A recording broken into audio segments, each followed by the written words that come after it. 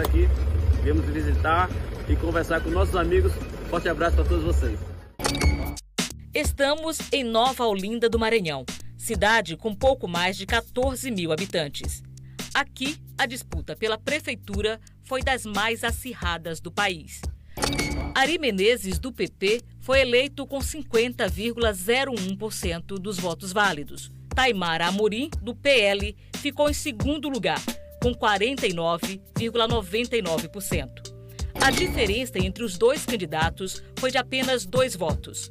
Antes do resultado oficial, uma comemoração precoce mexeu com a cidade.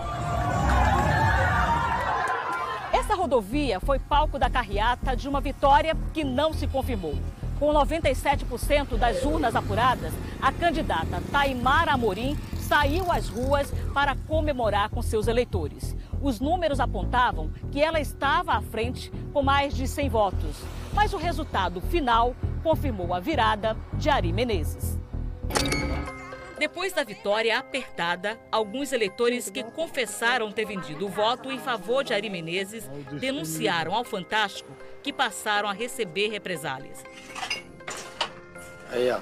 Aí achei que o prefeito Ari deu aí, ó. Mandaram vir buscar ele de volta aí, ó. Este é Danilo Santos. Ele assume que dias antes da votação foi procurado e aceitou vender o voto para Ari Menezes. O vídeo circulou em grupos da cidade. Ari Menezes com Ronildo Cléa Barros foram na minha casa, entendeu? Para a gente fechar um compromisso. Ronildo da farmácia do MDB é o vice-prefeito eleito com Ari Menezes.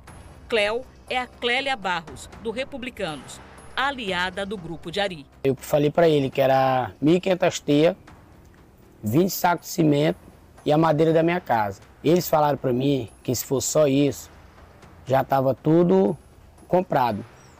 Que no outro dia era para me buscar lá no galpão. Danilo diz que não recebeu tudo o que foi prometido. Por isso mudou de ideia. Tinha só 1.500 teias. Como não, eles não me deram o material todo, eu não queria fechar com eles, cheguei a não fechar com eles, esse cara tipo me ameaçando. Segundo Danilo, dois dias depois da eleição, um caminhão da prefeitura retirou as telhas da casa dele. Ari Menezes, o prefeito, de andar aqui as teias com compra de voto, como a gente não votou neles, vem aqui buscar. As teias estão tá sendo entregue aí, meu prefeito Ari, não te preocupa não, a perseguição continua. Esta outra eleitora também denuncia ameaças. Ela decidiu não votar em Ari nem na vereadora indicada por ele. Vieram aqui e deram uma contribuição para o meu marido votar neles. Este vídeo gravado no dia 15 de setembro mostra a visita de funcionários do prefeito eleito à casa de Luciane. Me ameaçaram de morte, eu, meu marido e minhas filhas. Que se a gente não votasse neles, eles iam matar a gente. Ameaça, faz o que vocês quiserem. A senhora tá gravando isso aí, né? Tô. Franceilde conta uma história parecida. Eles me deram o valor de dois mil reais para mim votar para eles. Depois eles descobriram que eu não ia votar para eles e aí me pediram o valor de volta e eu não tinha mais. Aí eles saíram daqui me ameaçando. Não grava não, viu? Por quê? Eu tô na minha casa. Na minha casa quem manda é eu. Na minha casa quem manda é eu. O homem de azul trabalha para o prefeito eleito e tem o número do candidato na camisa. Neste outro vídeo, o homem sentado de camisa vinho é Apolinário Pereira da Silva. Ele é sogro do prefeito eleito Ari Menezes. É ninguém vai devolver nada. Não adianta eu dizer que eu vou dar sendo que eu não tenho. Eu fui falei para eles que eu não fui na casa deles pedir esse dinheiro. Então, eu na minha opinião, isso para mim é compra de voto. Procurado, Apolinário Pereira da Silva não quis se manifestar. O Ministério Público Eleitoral vai investigar os casos. Nós vamos abrir um procedimento investigativo para que todas essas denúncias sejam apuradas com todas as pessoas envolvidas, a fim de que possamos ter um resultado seguro das investigações e assim tomar todas as medidas necessárias para que isso possa ser combatido. Por nota, o prefeito eleito Ari Menezes disse que a compra e venda de votos compromete a democracia do pleito e deve ser apurada pela Justiça Eleitoral, e se colocou à disposição para esclarecimentos. Ronildo da Farmácia, o vice-prefeito eleito, negou as acusações. 100% de certeza que não oferecemos dinheiro em troca de voto para ninguém. Fizemos uma campanha limpa. A defesa de Clélia Barros disse em nota que Clélia não tem conhecimento sobre a captação ilícita de votos, apontada na reportagem, e que a cliente tem a vida pública pautada por honestidade, sempre respeitando os pilares da democracia.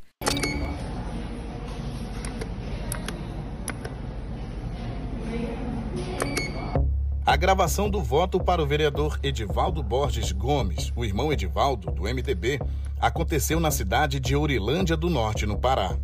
Irmão Edivaldo foi reeleito para o um novo mandato. Estes óculos, que têm uma microcâmera embutida, chamaram a atenção de uma mesária. Consentinho, viu já? O óculos. Veio na mesma sessão. Três pessoas foram com o mesmo é a segunda pessoa. A mesária disse à polícia que, em determinado momento, observou um eleitor portando óculos com espessura extensa.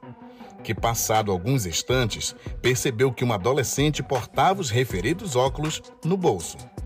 Que abordou a eleitora e acionou funcionários da Justiça Eleitoral que descobriram que os óculos possuíam uma câmera. É 200 reais cada filmagem.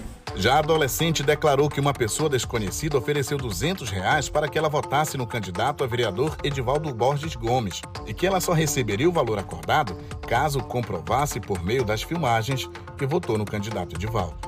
O vereador Edivaldo Borges Gomes, o irmão Edivaldo, foi preso em flagrante e solto mediante pagamento de fiança. Ele pode responder pelo crime de compra de votos e associação criminosa. Os cabos eleitorais do político citados no inquérito e os eleitores que confirmaram a venda do voto também serão indiciados por quebra do sigilo do voto e corrupção eleitoral. Por nota, o Ministério Público Eleitoral do Pará diz que tomou conhecimento de supostas irregularidades no momento da votação e que acompanhe o caso. Nós tentamos contato com o vereador, mas não tivemos retorno. Cinco dias após ser reeleito, irmão Edivaldo se defendeu das acusações numa sessão da Câmara de Vereadores. Que não tem nada do que me envergonhar.